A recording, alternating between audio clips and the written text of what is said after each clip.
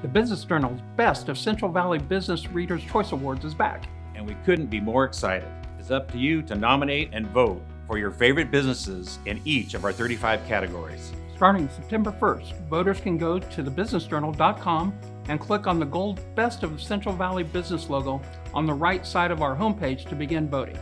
Categories include Best Business Supporting Local Charities, Best Companies to Work For, and Best Family Owned Business. The gold logo will be available for download on the events page of the Business Journal's website. This is the time to take advantage of your social media pages and share the voting link and logos with your clients and friends. Winners will be announced in the December 6th issue of the Business Journal. Don't wait. Voting ends October 31st. Every vote counts. You don't want to miss this eight week opportunity to select the companies you feel represent the best of Central Valley business.